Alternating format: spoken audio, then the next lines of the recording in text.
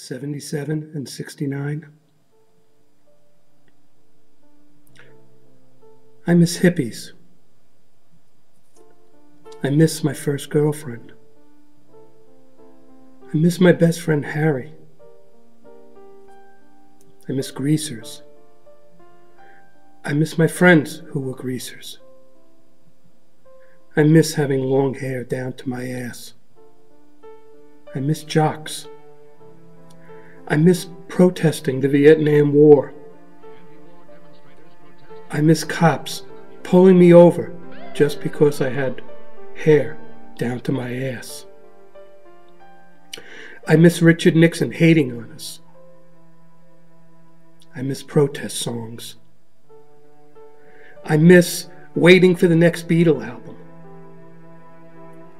I miss my brother and I wiring the house for sound. I miss giving teachers a hard time. I miss Richard Nixon ending the Vietnam War. I miss my oldest brother thinking I was really special. I miss not having a boss to bust my balls.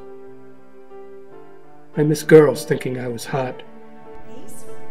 I miss thinking no president could be a bigger dick than Dick Nixon.